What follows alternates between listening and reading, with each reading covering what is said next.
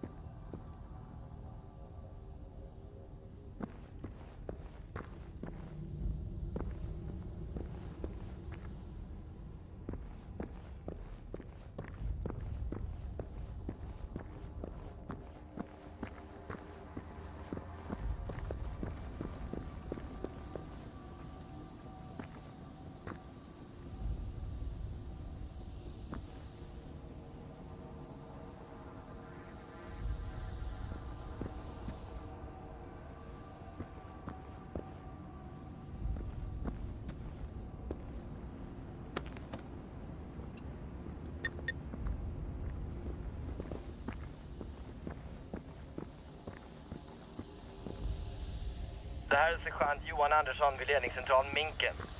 Jag har sett order om att evakuera till Saltholmsbasen och till Fiskebäck på den här sidan. Det följer inte standardrutin. Har ni muntliga order från staben? Kom. Standardförfarande är omedelbar evakuering till fastlandet och vi har tappat all kontakt med staben. Det har också... Vi har fått information.